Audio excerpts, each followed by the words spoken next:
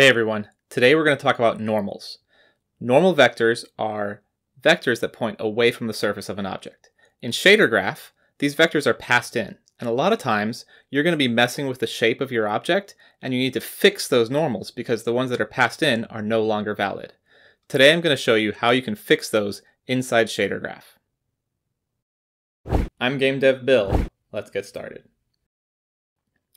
So first off, what are normal vectors? Well, they're a line that is perpendicular to the surface. On every point in a 3D model, there's a calculated normal vector that represents the line coming off of the surface. These Nerf darts are the normal vectors of my head right now. So what are these for? Well, most of the time they're used for lighting. If my head was shiny and there was a light over here, a graphics system that was rendering my head would need to know that this point is facing this direction so that as the light shines on it, it would know it's being hit, whereas it also needs to know that this point is facing away from the light and should be in shadow. So what causes these normal vectors to get messed up or moved into the wrong position? Well, let's take this hat. Keep the general shape the same, everything's fine. But if I change the shape of it, these two normals that were pointing outwards here now might be pointing inwards because the shape is different. Now in shader graph, the normal vectors are calculated on the model in advance and passed in, which means this vector if I move the shape in a shader graph, it's still going to point outwards. This vector is still going to point where it was originally, which is wrong. And that's what we need to recalculate. We need to figure out that this surface has changed and that the normal vector should actually be pointing inwards like this, not outwards like it was originally. Today I'm not going to go into a ton of detail of the actual graph needed to pull this off.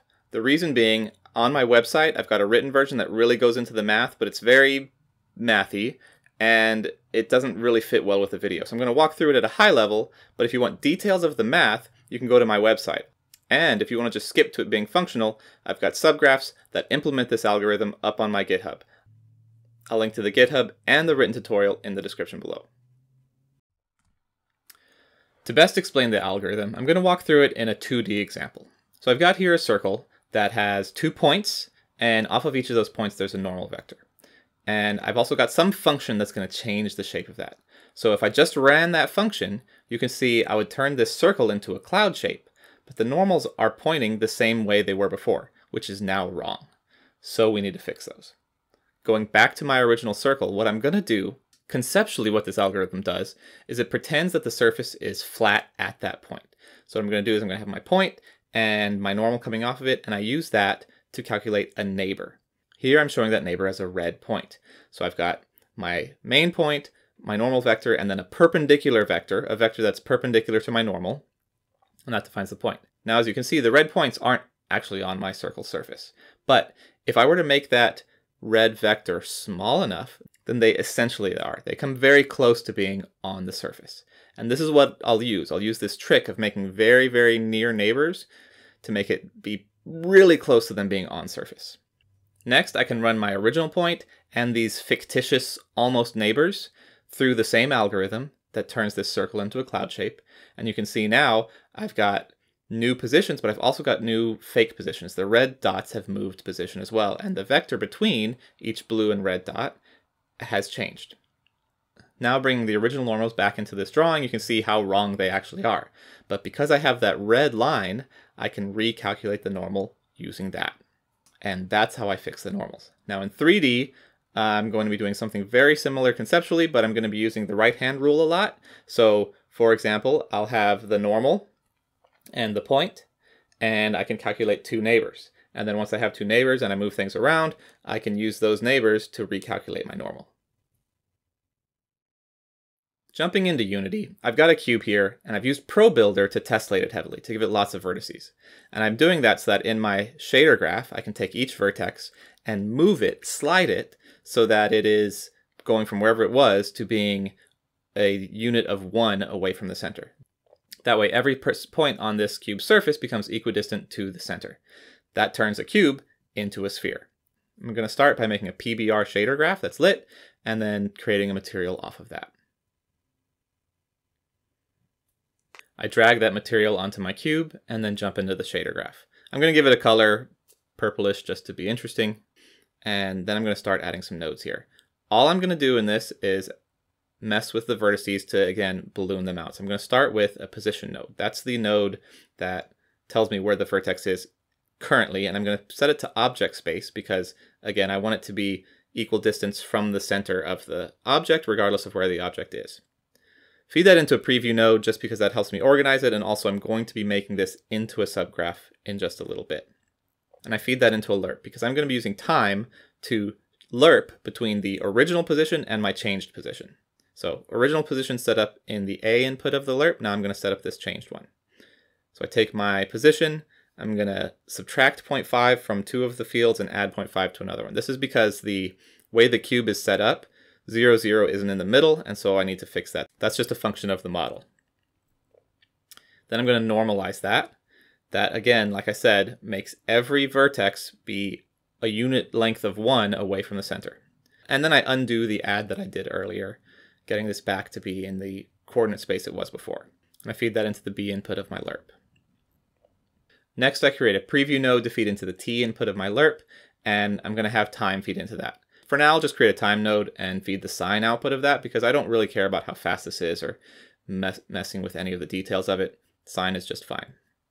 Going over to the scene view, you can see that my shape is changing, but the lighting is completely wrong.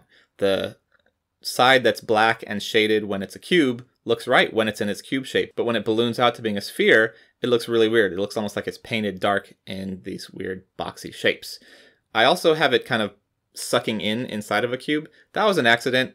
I meant to feed a 0 to 1 range into my lerp, but because sine is negative 1 to 1, uh, the lerp's going negative and we get some weird behavior, but I'm okay with that. As Bob Ross says, it's a happy accident.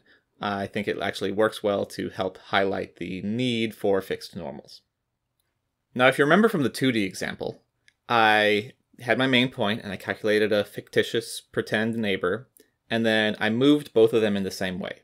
And the easiest way to do something like that is to have a subgraph that does the moving. So I'm going to go back to shader graph here, highlight the nodes that do the actual transformation, and say convert to subgraph.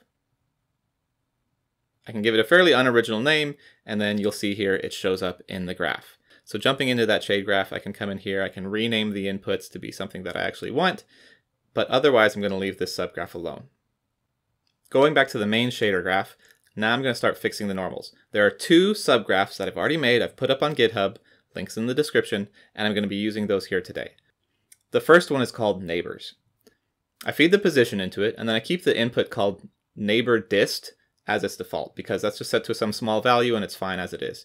Depending on your surface and what's going on in your shader graph, you may need to tweak that number, but for now I'll leave it as the default. So let's open up this neighbors subgraph and walk through the logic. Again, I'm not going to create it live here. All the math has gone into in depth on my website, but this is just going to describe it at a high level. So first off, I've got my point and it's normal. And I can use that to calculate a mathematical function that represents the plane that this point is on. The formula is shown here, and the d is what we're missing. So first off, I calculate the d, and I feed it into some logic that I'm naming here position 1 when normal.x is non-zero. Now I have this block because the math involved here is dividing by normal.x, and if normal.x is 0 and you divide by 0, things blow up. So I have to tweak it a little bit to protect it from being 0 and feed it into this logic, and this logic is right, unless that value is zero. So then elsewhere in the graph, we can see that I have a block called position one when normal x is zero. And essentially what I'm doing here is this is all a whole lot of complicated math to say, I've got my point and my normal vector, and I'm figuring out one position, calling it position one, that is on this plane and is perpendicular to my normal. It's on the plane. It can be anywhere on the plane. I don't really care where. And once I figure that out, I can use my cross product to find a second one. This has given me two points that are on the plane, this fictitious flat plane that uh, I imagine comes off of my point, my point that I care about. Now these two new points could be any distance from my source. So what I have to do is I have to take the vectors that point towards them, normalize them, multiply them by this input that I've called neighbor dist to say, let's get them really, really close. Then I can take these new points that are normalized and really, really close to the original point and feed them out as outputs. These are my two fictitious neighbors. Again, when I did the 2D example, I only had one fictitious neighbor, but we're in 3D now, so I need two neighbors that as I move them around somehow and then run them through the right-hand rule again, I'll get my new normal. Believe it or not, that was 90% of the algorithm. That neighbor calculation, finding those fictitious close by neighbors, is the meat of this algorithm. From here, it's actually pretty straightforward. So I go back to my main graph and I've got my neighbors. I'm just going to take my two fictitious neighbors and run them through the same subgraph that I ran my main position through. At this point now, I've run my real position, the real point, through this movement, and I've run my two fictitious neighbors through it. And so that means I have a point and two fictitious neighbors, and I can use, again, the right-hand rule to calculate these as vectors, do the cross product, and now I've got my new normal. This little bit of logic is also in a subgraph. I've named this one new normal. Again, both of these subgraphs, the neighbors that you use at the front end and the new normal that you use at the back, are on GitHub. So I'm going to add this here. I'll wire my real source position into it, as well as my two fictitious neighbors. It always makes entertaining colors in the preview because it really has no bearing on reality here. And then I wire that into the normal input of my master node. So before we go and look at the scene view to see if this actually fixes our normals, I'm going to jump over to that subgraph real quick to just show you what it looks like. As you can see, there's not really much to it. I'm taking my two neighbor points and subtracting the real point. That gives a vector between them. And then I normalize them so they're the same length, feed that into cross product. I normalize that again, which I actually probably don't need to, but I like safety first. And then I feed that as the output. And that's the new normal.